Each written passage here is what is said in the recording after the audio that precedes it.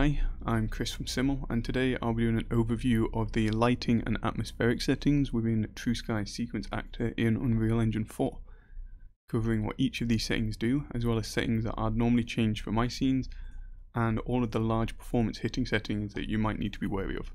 Last video I covered the cloud settings within the Sequence Actor, you can find that in a link in the description or head on over to the trueSKY channel and I will in the future be going down and completing one of these videos for each of the main headers on the sequence actor.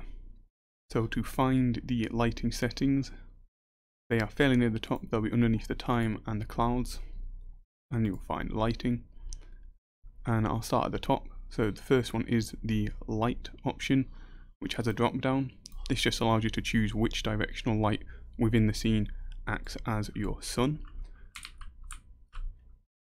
and when you initialize a scene it will automatically set this up. But if you ever find that when you move your time of day the sun is not moving in the sky a thing to check is that this directional light is hooked up correctly. And to hook it up you just click the drop down and select which light you want. We'll also need to ensure that the drive light direction is ticked as this also just allows the trueSKY actor to move the angle of the light with the timeline Next up we have the sky multiplier setting. This affects how bright the sky that's between the clouds is. So almost the atmosphere brightness. I would advise against straying too far from the defaults as we have it set up so that would be what it would realistically look like.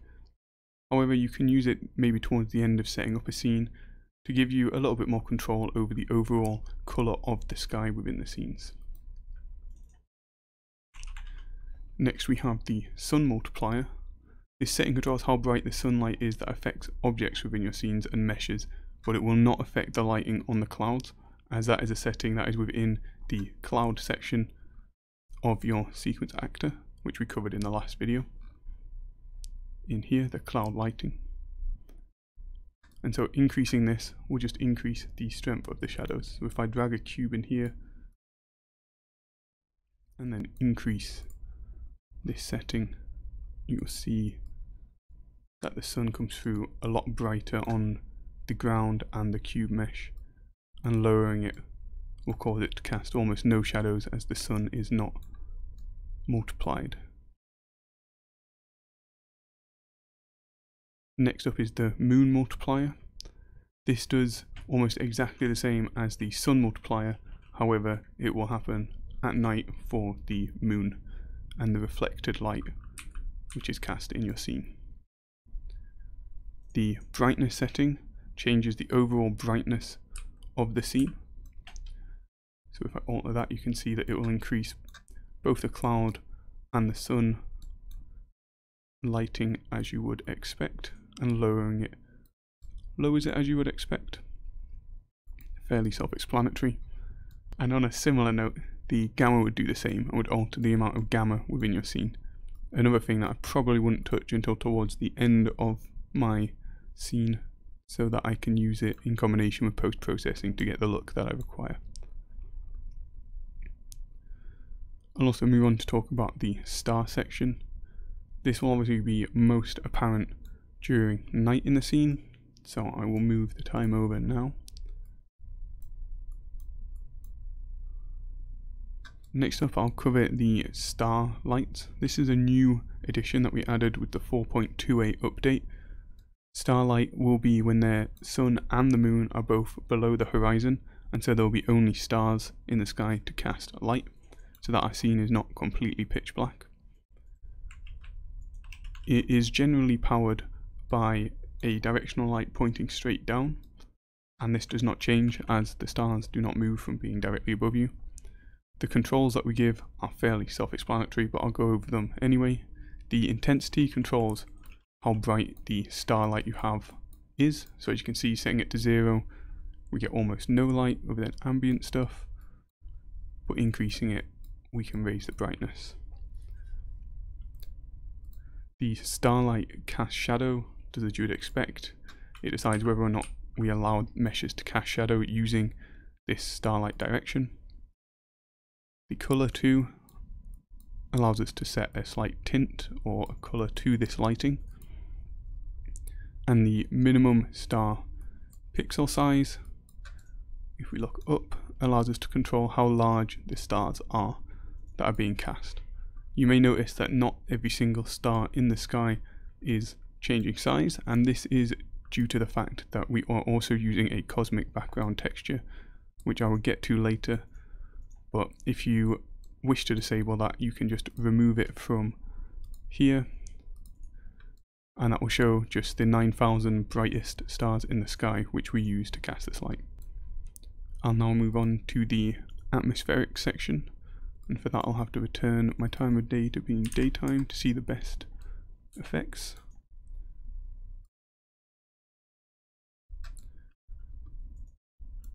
and here we will find settings such as the sun radiance and the adjust sun radius settings.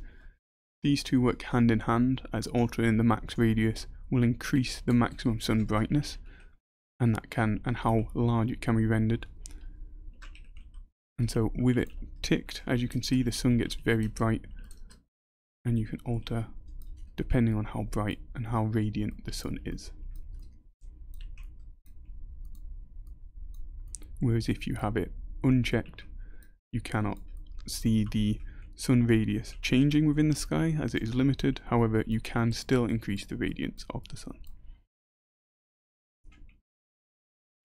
Next up we have the atmospheric amortization.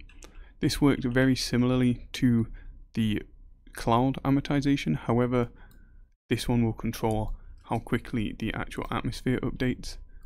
The most notable times for it to be seen is during the evening scenes and I generally like to leave this setting down towards the 1 section as that's instant and fast updates. However, as with the other amortization, you may want to raise it up slightly if your scene is moving fairly slowly and you will get slightly better performance. And I'll move to the cosmic background texture. As I mentioned earlier, this setting controls the background texture that we use when doing a night scene. So if I were to move my time back to a night scene, you can see here that we have the Milky Way being cast across the sky. If you do not want this, you can just remove it by hitting the default button. And we do supply this texture, so if you type in Milky Way, you will find it, and it is within the trueSKY plugin content folder. You can put any texture in here. If I open up the text, you can see that it is just a flat texture. And if you wish to control the brightness, there is a setting within sequences to control how bright that is. The next setting we have are the latitude, longitude and origin heading. So I'll return my time to a morning time, about 9am and the latitude, longitude and origin heading do as you would expect. And the easiest way to visualize this is within the sequence actor and scrolling out in the cloud window. And here you can see a globe and by default we are at 0, 0 so we will be dead in the center of the equator. If we are to alter this setting you'll see that we will move our latitude and if we alter again you'll see it will move in longitude around the earth or the planet that you're using and this will as you'd expect affect how the sun travels across your sky within the scenes so if I get myself above the clouds here